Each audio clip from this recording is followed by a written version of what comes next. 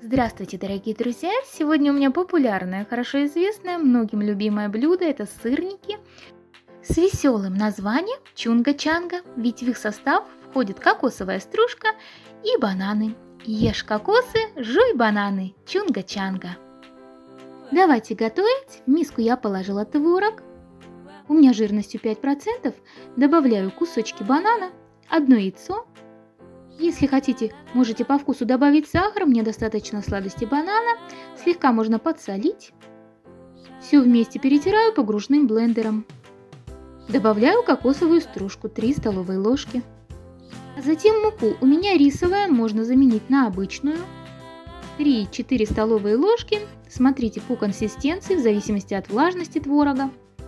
В результате должна получиться вязкая масса, из которой можно будет сформировать сырники помощью ложки выкладываю небольшое количество творожной массы на тарелочку с рисовой мукой, формирую сырник, обваливая его со всех сторон в муке.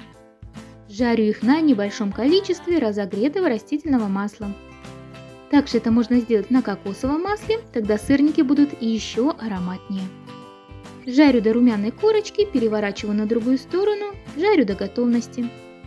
Готовые сырники, чтобы удалить излишки масла, перекладываю на тарелку, застеленную бумажным полотенцем.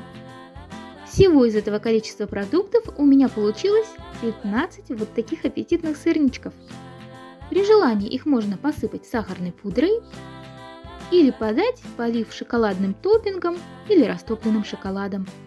На мой взгляд, он идеально сочетается с бананом и кокосом. И теперь остается наслаждаться нашими сырниками. И я вам желаю приятного аппетита, хорошего здоровья, всего вам самого доброго. До новых встреч на видео.